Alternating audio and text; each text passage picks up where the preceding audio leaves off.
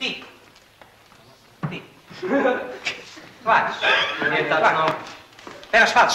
Ja ne pevam, samo otvaram usta, boli me grudi. Kaže a? A, Daj, Počela je sednica veća, nisam mogu. sednica počela. Da.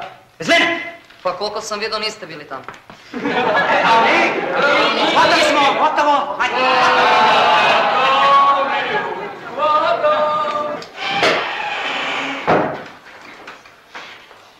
Ima li neko razuman predlog? Dakle, Ja.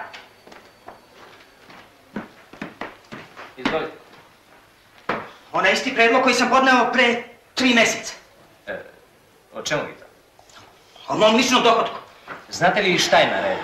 Trebalo je da bude moj lični dohodak. Ali u međuvremenu izbio ovaj incident. Izbiće i drugi ako se moj slučaj ne desi. sedite, molim vas. Na dnevnom redu je etika, koja se tiče svih nas. Ja sam na dnevnom redu, kolega. Ne, Ja. niste vi. Svi smo mi na dnevnom Zašto mi? Ova je generacija psihički potpuno neuravnotežena. Ja se pre svakog časa drogiram. Čime se drogirate? Aspirinima.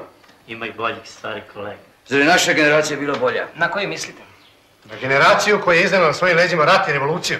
Poređenje je neumesno. Predajem istoriju i znam šta je ta generacija učinila za sve kasnije. To što vi predajete, ja sam preživio i to jedva.